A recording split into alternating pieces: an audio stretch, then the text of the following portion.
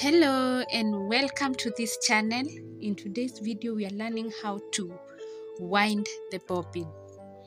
I made another video about the parts of the bobbin and the bobbin case, so you can check on that video and then you, I believe you learn something.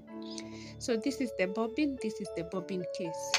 I'm going to show you how to wind this bobbin using this sewing machine. It's a manual sewing machine and I'm going to to teach you several ways let's say two ways of how you can wind this bobbin. The first method it has several steps. The first one you disengage the the needle using this stop motion screw. So you are going to disengage it using the stop motion screw and then after that mine is is fixed permanently so i will not disengage it for today. And then the second step is to wind a little amount of thread. And then this is the bobbin winder. I believe you can see it the bobbin winder. After that we're going to fix it inside here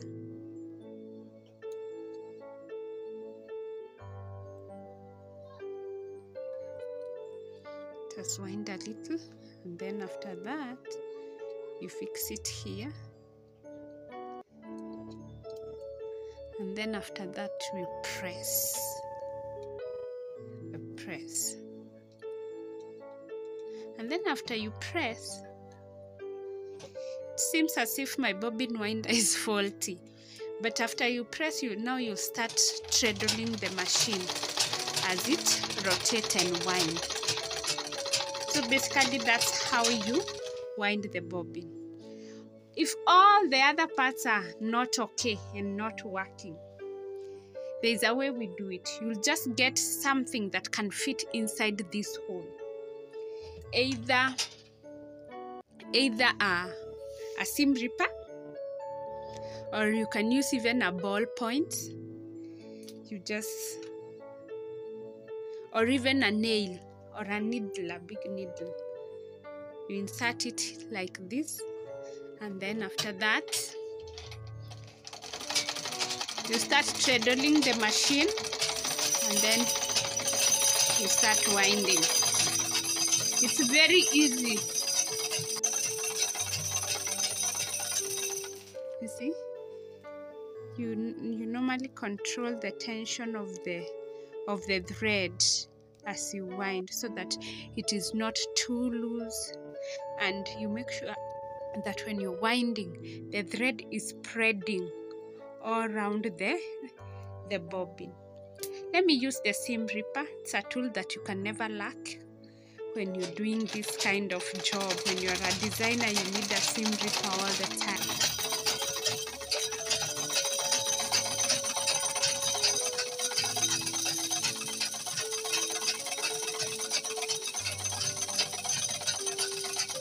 you hold the thread like this too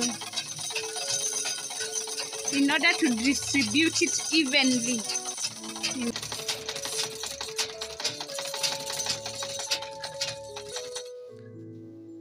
So that's it. When as you can see our thread is tightly and evenly distributed in the bobbin and then you can cut your thread fix your bobbin in the bobbin case. And we said when you're fixing you make sure that the bobbin is moving in a clockwise direction that is anti-clockwise.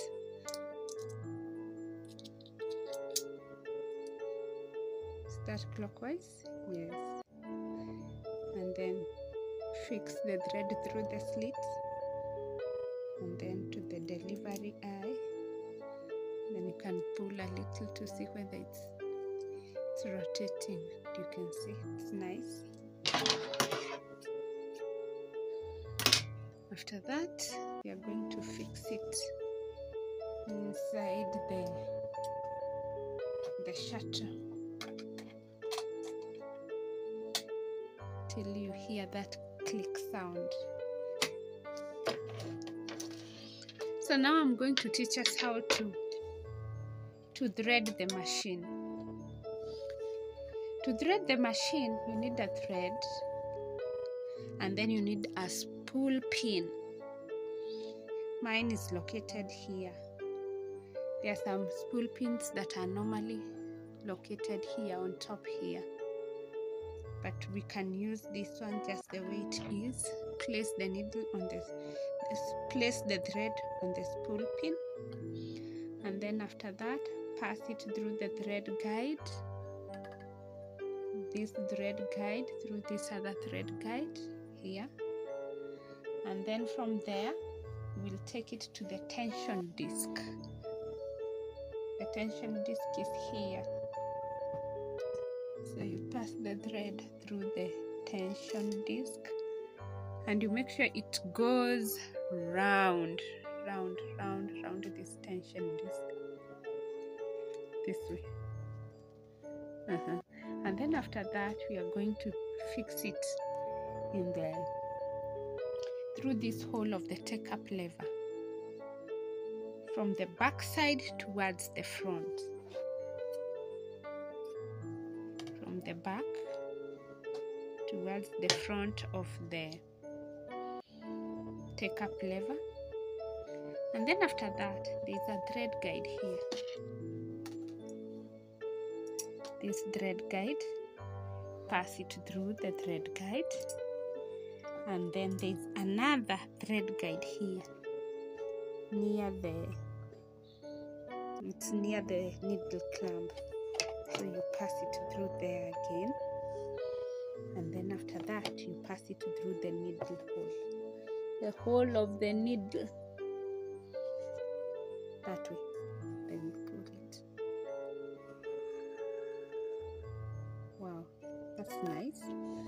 and then after that we have to remove the lower thread and bring it to the upper side. So what we normally do you hold this upper thread. And then you hold this section here the hand wheel. Hold the hand wheel.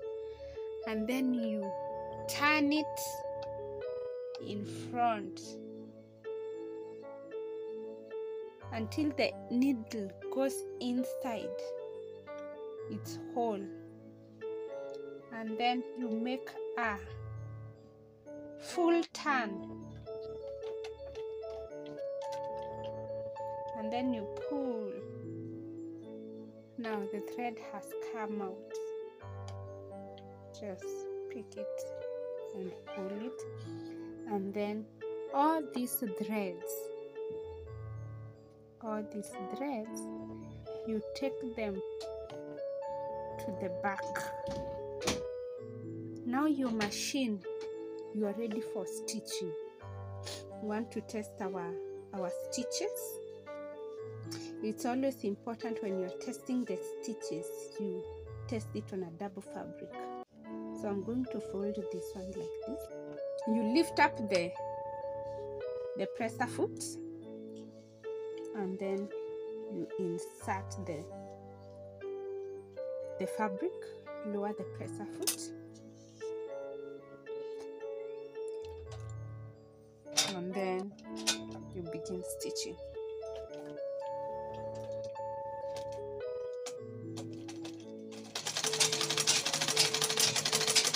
This is the back stitch forward stitch when you're beginning and you're ending your stitches you should always back stitch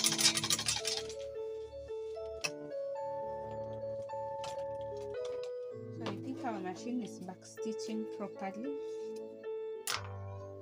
Yeah. Yes the upper side of the stitches they are okay.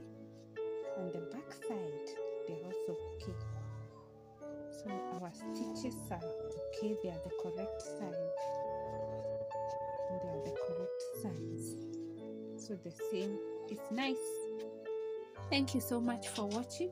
I hope you learned something. Uh, please like, share and subscribe to this video. Thank you.